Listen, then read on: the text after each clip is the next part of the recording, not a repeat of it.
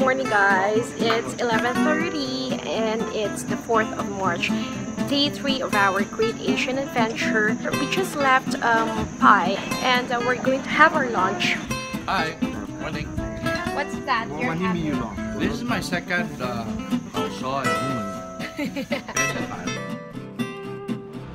After lunch, we headed back to Chiang Mai straight to the railway station. Chiang Mai. It's 2.30 in the afternoon. We just arrived here. We are right now at the railway station to get our tickets going to... Bangkok! No, Ayutthaya!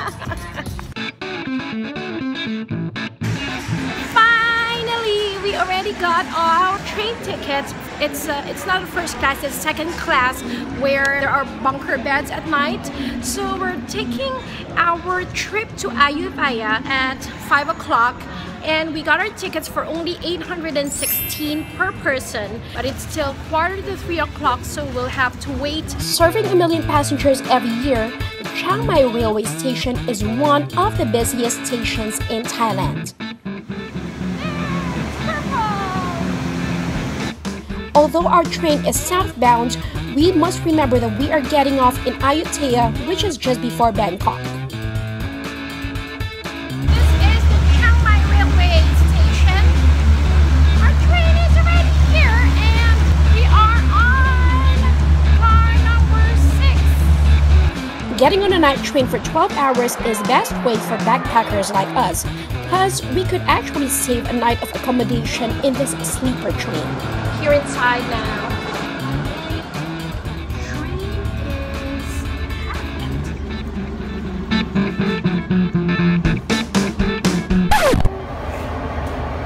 We're about to leave uh, Pai? No, Pai. Chiang Mai. Ulit, ulit. Cut, cut, cut. Okay, go. We're about to leave Chiang Mai. Ayutthaya, here we come.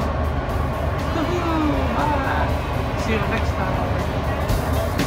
The train left on time. We're leaving. Yeah.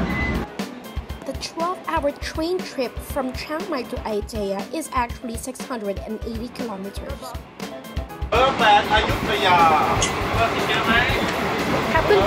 เ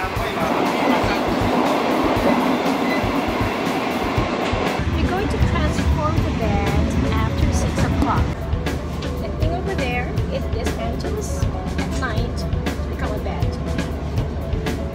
After 6 o'clock, the train seats are transformed one by one into a lower bed. And the upper bed is just simply pulled down from up there.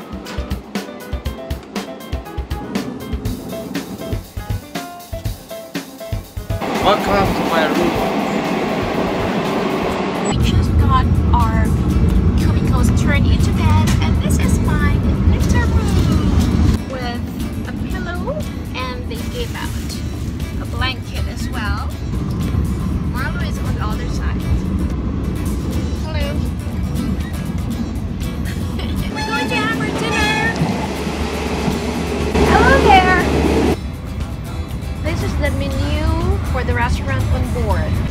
having a dinner here at the restaurant of the train, and there goes our dinner. It was indeed another great day, and it's definitely time to rest now and prepare for another fun adventure in Ayutthaya in our next episode. Good night!